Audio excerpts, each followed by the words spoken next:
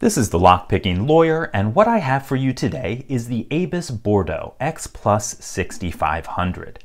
This is the undisputed heavyweight champion of folding bike locks. If you've been watching my channel for the last several weeks, you've seen me break these types of locks with a pocket-sized tool, an open-ended nut splitter. As the name suggests, this tool is designed for splitting nuts that are seized onto bolts. It's a really simple tool consisting of a hardened steel wedge and a small screw press. It also happens to be a devastatingly effective tool in opening these types of folding locks. All you do is put this little wedge in between two of these steel plates, then tighten the screw press until the rivet is cut in half or broken. Ever since I first showed this inherent weakness in the design, I've been receiving messages and comments asking that I test this lock, the Bordo 6500.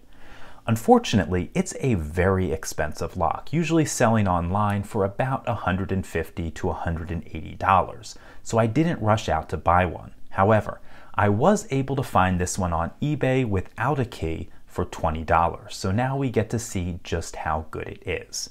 Now what makes this lock so much better? Well, first, we have the Abus X Plus core, which is very pick resistant.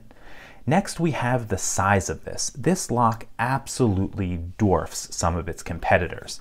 If you look at it next to this On Guard K9, you can see that the difference is not subtle. And in fact, I put both of these on the scale, and the Abus weighs over three times more. The other big difference is the presence of a hardened ring that protects the rivet on this lock.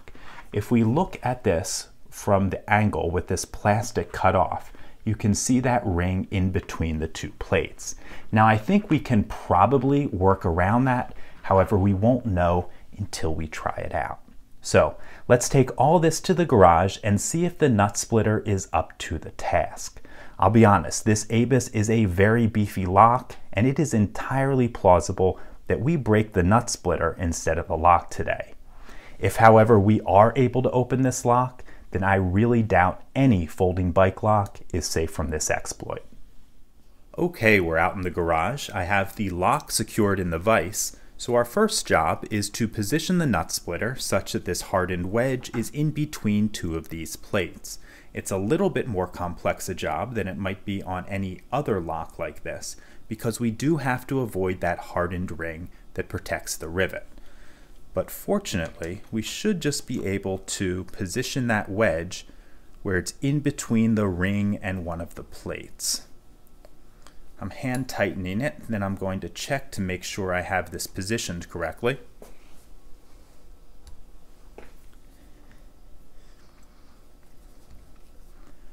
Okay, I think I have it in the right position.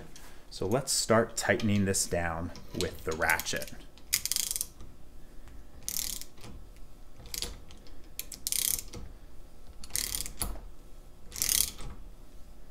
Okay, I'm going to check one more time to make sure that ring is not getting in our way.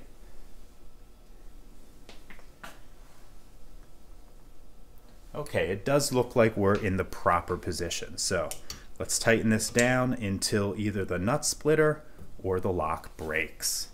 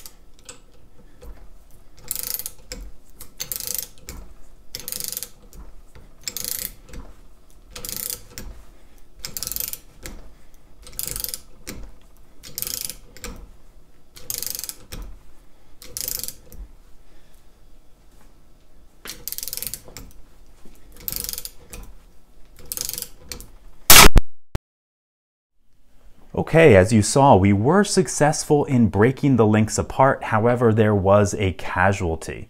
The swinging arm of the bike lock unplugged my microphone cable, so we lost the last few minutes of the video. However, I looked around the garage and found some of the parts that went flying. Here we have the hardened ring that protects the rivet. You can see it compressed just a little bit, but did not fail.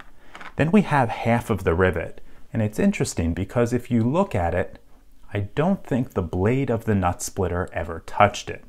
Rather, I think the wedge of the blade simply forced the two metal plates apart, which stretched the rivet until it could stretch no more, at which point it failed. As for the nut splitter itself, it seemed to have fared pretty well in this test. If we look carefully, you can see a small dent in the blade. However, I believe that was from a pass test on the Master Lock street cuff. So there is no new damage that I can see to this.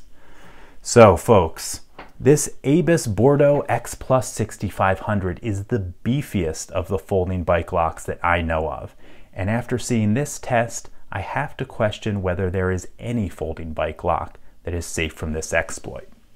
That's all I have for you today. If you do have any questions or comments about this, please put them below. If you like this video and would like to see more like it, please subscribe and as always, have a nice day. Thank you.